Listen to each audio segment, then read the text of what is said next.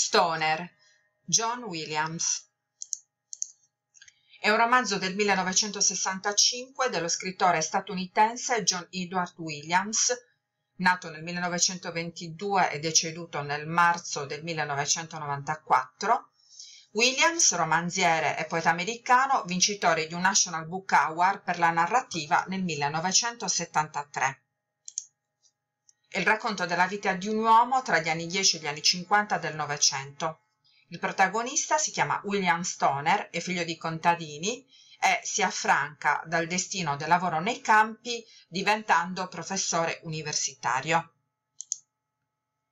L'incipit del testo ci eh, fa una sintesi di quello che accade eh, nel, nel romanzo.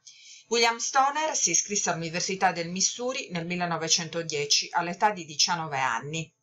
Otto anni dopo, al culmine della Prima Guerra Mondiale, gli fu conferito il dottorato in filosofia e ottenne un incarico presso la stessa università, dove restò a insegnare fino alla sua morte nel 1956. Non superò mai il grado di ricercatore e pochi studenti, dopo aver frequentato i suoi corsi, serbarono di lui un ricordo nitido.